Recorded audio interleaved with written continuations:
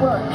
So right now, I want to see you guys march twice as fucking hard to make up for yesterday, okay?